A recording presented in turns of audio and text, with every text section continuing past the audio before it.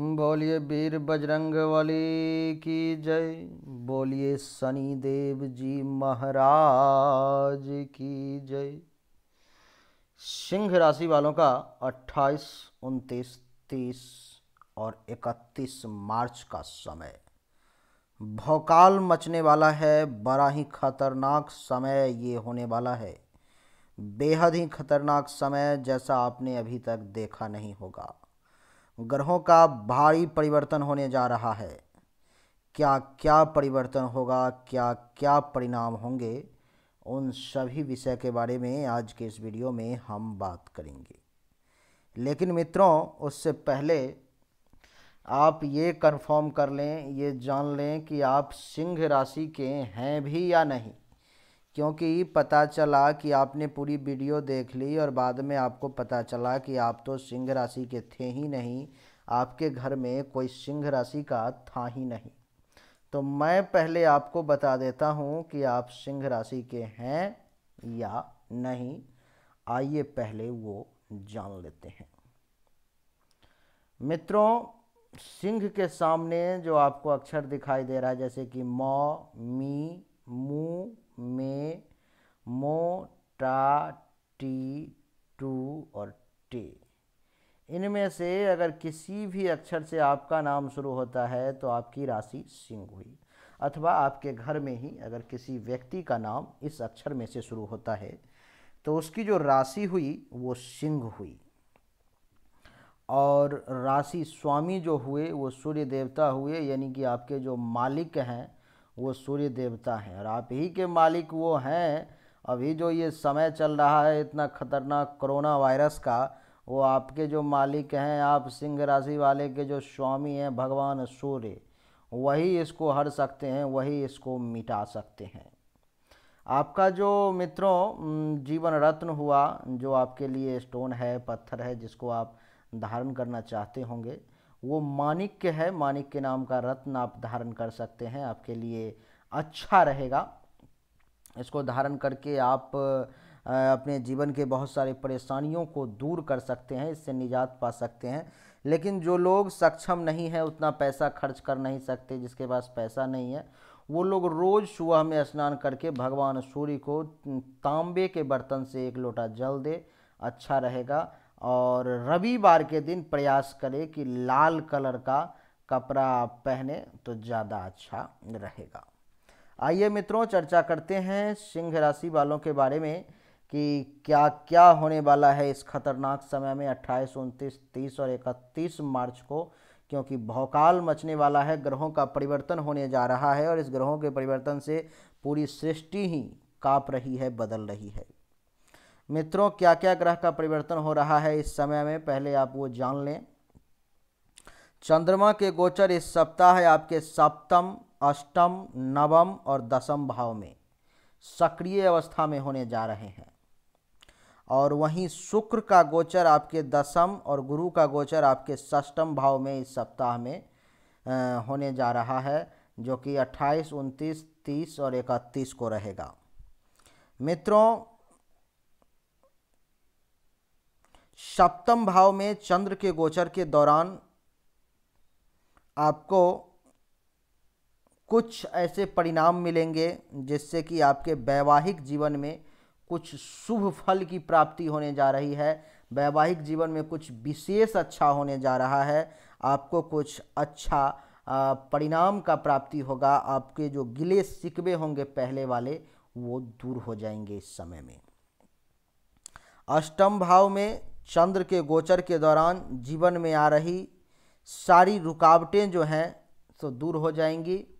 लेकिन क्योंकि अष्टम भाव मृत्यु का घर होता है, मौत का घर होता है तो आपको कुछ ऐसे परिणामों का सामना भी करना पड़ेगा, जो आपके लिए मौत के समान कष्टकारी होगा, तकलीफ़दायक होगा।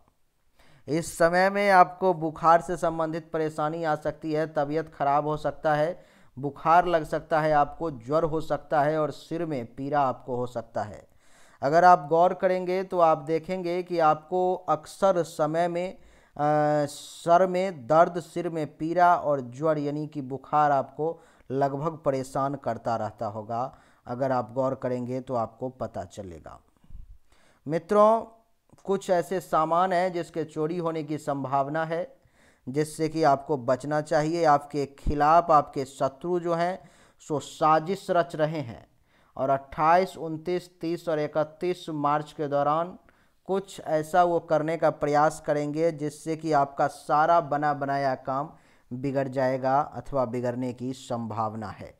आपके दुश्मन आपके पीछे लगे हुए हैं और ऐसे आपातकाल में भी वो आपको चैन से बैठे देना नहीं रहने रहने देना चाहते हैं।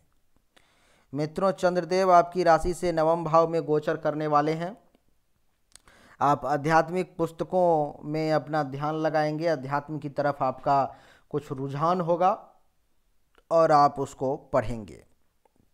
घर के बड़े बुज़ुर्गों की सेवा करके और उनके साथ बातचीत करके आपको बड़ा मज़ा आने वाला है। आपके लिए ये अच्छा समय इन मामलों में रहेगा। लेकिन गुरु का गोचर इस समय आपके षष्टम भाव में भी जाएगा, जिसके चलते गंभीर कुछ बीमारियों से आपको राहत मिलने की भी संभावना दिखाई दे रही है।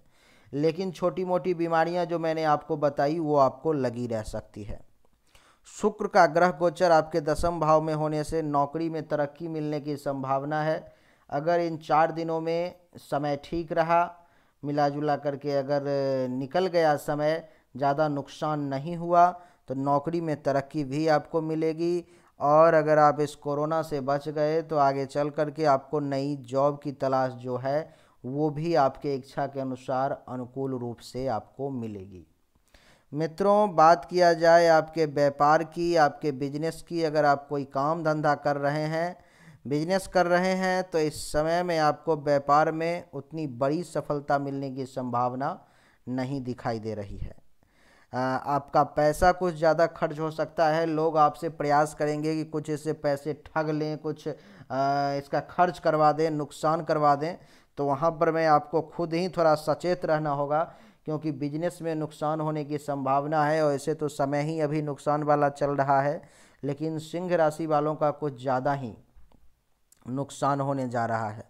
व्यापार आपका अच्छा नहीं चलने वाला है, नौकरी में तो अभी सरकार ने ही रोक लगा दी है, लेकिन अगर आप घर से भी कोई काम कर रहे होंगे तो आपका मन नहीं लग रहा होगा। आपका ध्यान बार बार भटक रहा होगा, मन आपका बार बार भटक रहा होगा और इधर उधर भागने का प्रयास करता होगा। वैसे आप धर्मात्मा हैं, आप पुण्यात्मा हैं, आप हमेशा दूसरों की भलाई चाहते हैं, किसी का नुकसान करना नहीं चाहते। नुकसान करना आपके खून में ही नहीं है, आपका स्वभाव ही नहीं है। आप धर्म के अवतार हैं, धर्मराज हैं आप। दयालुता आपके अंदर कूट कूट के भरी हुई है, बहुत ज़्यादा दयालु हैं, ऐसे विपरीत समय में भी चाहते होंगे कि दूसरों का मदद करे। दोस्त और दुश्मन का भेद नहीं रखते होंगे, लेकिन आपके साथ ऐसा नहीं है। आपके जो दुश्मन हैं, वो अब भी ऐसे विपरीत समय में भी आपके पीछे पड़े हैं और आपको परेशान करने का वो प्रयास कर रहे हैं, आपको वो नुकसान पहुँचाने का प्रयास कर रहे हैं। अगर उनको अभी भी मौका लग गया तो वो आपके परिवार को खंडित करने का प्रयास करेंगे, परिवार में विघ्न डालने का प्रयास करेंगे और चाहेंगे कि कैसे भी करके इसके परिवार को फोड़ दिया जाए, तोड़ दिया जाए ताकि इसके परिवार में सब सुख शांति से ना रह पाए। ऐसा वो अभी भी प्रयास कर रहे हैं। प्रेम संबंध और वैवाहिक जीवन के मामले में समय मिला जुला करके ठीक ठाक रहने वाला है। सकारात्मक बदलाव आने की संभावना दिखाई दे रही है। बीती बातों को आपको भूल करके अपने पार्टनर के साथ, अपने प्रेम संबंध का, अपने लव पार्टनर के साथ, अपने लाइफ पार्टनर के साथ शुरुआत करना चाहिए, नई शुरुआत करना चाहिए।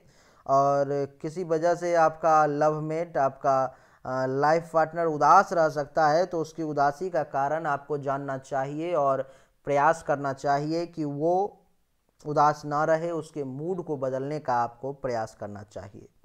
जीवन साथी कारण आपको समाज में सम्मान, प्रतिष्ठा मिलने की संभावना है और इस समय में आप लाल, सफ़ेद और नीला, इन तीन रंगों का आप प्रयोग कर सकते हैं। आपके लिए ये तीन रंग जो है, सो लकी कलर है, भाग्यशाली रंग है, अट्ठाईस, उनतीस, तीस और इकतीस को ये चार रंग आप प्रयोग करें। लाल, सफ़ेद और हल्का नीला, पूरा नीला नहीं अच्छा रहेगा। हठ नहीं करें, नहीं तो समय खराब चल रहा है। हट का परिणाम अच्छा नहीं आपको मिलेगा, आपको बुरे परिणामों का सामना करना पड़ जाएगा।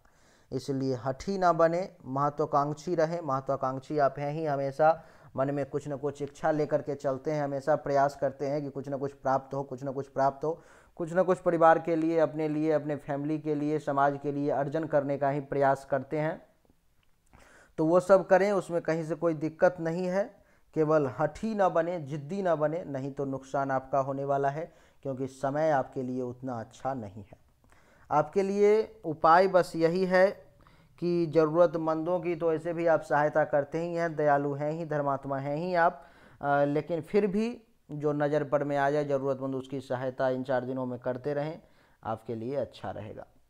उम्मीद करता हूँ मित्रों कि सिंह राशि वाले आ, का समय जो है सो ये चार दिन बहुत खतरनाक रहने वाला है, लेकिन इसके बाद का समय जो आने वाला है, वो अच्छा रहे। भगवान से प्रार्थना करता हूँ कि आपके जीवन में खुशी आए अच्छा समय रहे, आपको परेशानी ज़्यादा ना आए, क्योंकि दुश्मन हमेशा आपके पीछे लगा रहता है।